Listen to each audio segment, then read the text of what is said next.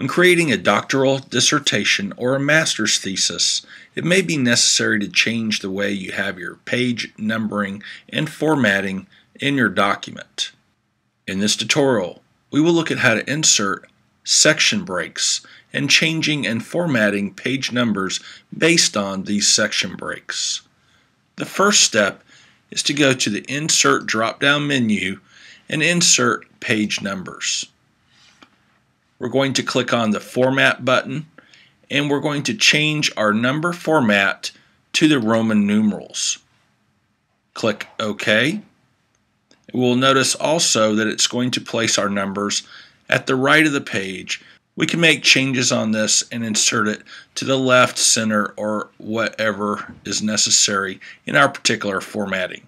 We're just going to go ahead and click on right in this case, and we can also change if we want it at the top of the page or the bottom of the page.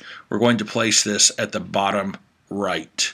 We are also going to show the number on the first page. We can deselect this and it will be number one, but in fact it will not show number one.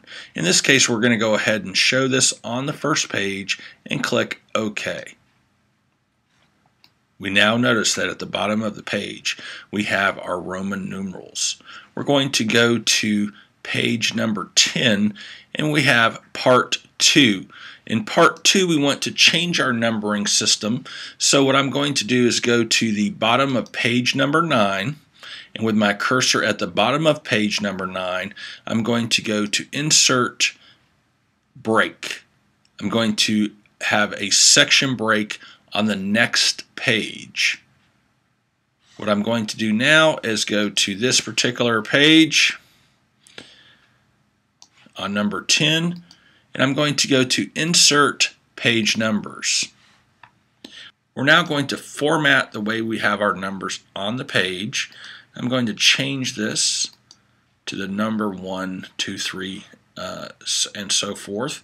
I'm going to start at number 1.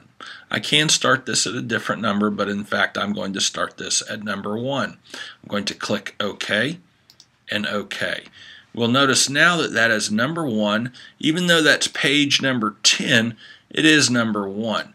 And we'll notice that before that, we have our Roman numerals as specified in the document. Now what I'm going to do is I'm going to go down the pages into our next section area right here and I'm going to add another section break. I'm going to break it right at this point um, by going to the bottom of this page and insert break, section break, next page. And now what I'm going to do is I'm going to change the numbering pattern here. Well, notice that it starts off with number one again, but I don't want to do that. I'm going to go to Insert, Page Numbers, and I'm going to change the format to lettering. So I'm going to begin with A, and it's going to start off with A. But in this example, I'm going to just change this to C so that you'll see how that changes. So we'll start it off with C so that you'll understand how that works. Clicking OK. And we'll notice that on the first page of this particular section break, we start off with C. If we scroll up the page, we'll now see that we have our numbering. And further up the page, we will see we in fact have our Roman numerals.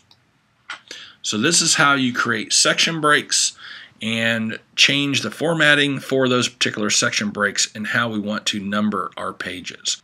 Good luck in creating your document, and I wish you much success on your academic pursuits.